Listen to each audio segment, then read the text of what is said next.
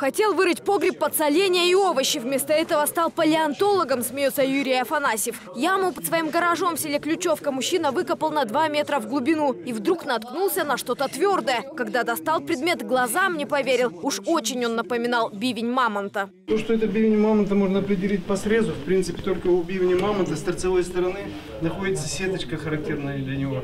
Внутренние кольца толстые, годовые кольца, так как у дерева примерно, такие же. А внешние полосовидные, костевидные и мелкие. Но сеточка характерна только для мамонта. Раскопки в селе Ключевка идут уже вторые сутки. Хозяину гаража помогают соседи и родственники. Приехали и ученые-археологи. Сейчас самый ответственный момент. 100-килограммовый бивень поднимают на поверхность и укладывают рядом с другими, более мелкими осколками. Так, Ногу. Так поставь на пол. нет, я рукой придержу. Нет причин. Так, подожди. Выходишь, нет? Один из самых известных южноуральских исследователей Владимир Юрин сразу подтверждает, это действительно останки древнего животного. Их возраст от 20 до 100 тысяч лет. Принадлежал бивень, скорее всего, мамонту. Окончательный результат даст экспертиза. Она позволит точнее определить возраст останков. Но уже сейчас исследователи показывают, этот мамонт был один из последних. На бивне остались следы. Видно, что ими животное разгребало снег в поисках травы. Сюда бивень принесло рекой, уверены исследователи.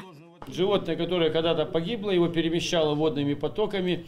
Бивни очень тяжелые, они раньше отсоединились от всего скелета, остались лежать, и то его перевернуло, отломило. Здесь находится острие бивня, а на другом конце здесь он крепился к черепу мамонта. Предположительно, это только фрагмент. Целиком бивень составляет около трех с половиной метров. Само же животное было огромных размеров, около четырех метров в высоту. Мамонты, носороги и древние лошади жили на Южном Урале. Ученые зафиксировали больше 300 точек, где находили останки животных. Но этот бивень уникальный. Ученые рассказывают, чаще всего люди находят кости древних животных во время строительства. Выбрасывают их и продолжают стройку. Юрий Афанасьев погреб рыть перестал. Бивень в ближайшее время очистят от глины и окаменелостей и передадут в музей Сосновского района. Ульяна Зайкова, Андрей Ярушев, ОТВ.